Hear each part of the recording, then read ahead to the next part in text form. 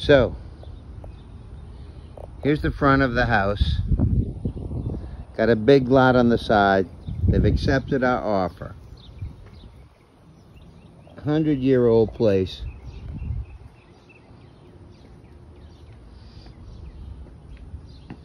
A little work, but man, they've done a lot here. You walk in, Beautiful. and it's all stone. The big old stone fireplace right in the middle. As soon as you get in, put a bunch of pillows on this. That's kind of modern. Then it opens up into the kitchen, which is pretty doggone awesome. And then there's even a pantry that has like a picture of bread on it and stuff in it that we can have.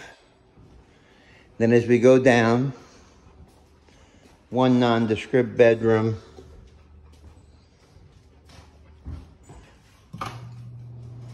one nondescript bathroom, second nondescript bedroom, third nondescript bedroom. But if you close this off right now, and we live back here, here is the marble bedroom, number four. And it's got that bathtub there, there.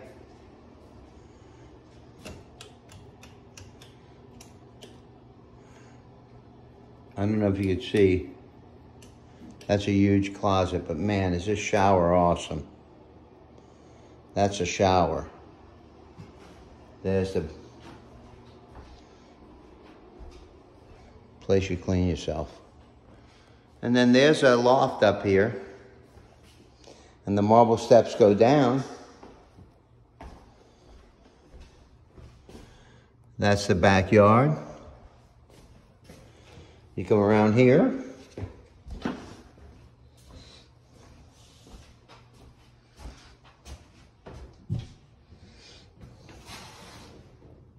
And the stonework in here is excellent. And then you come up here too, which would could be a fifth bedroom, loft or office or whatever.